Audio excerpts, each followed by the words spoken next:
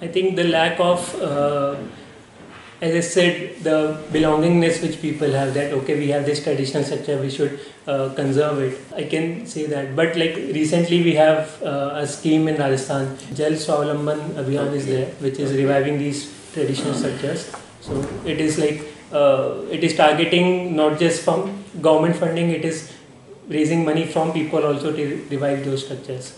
Okay. So like schemes like that are like taking us back to the time uh, which we had earlier.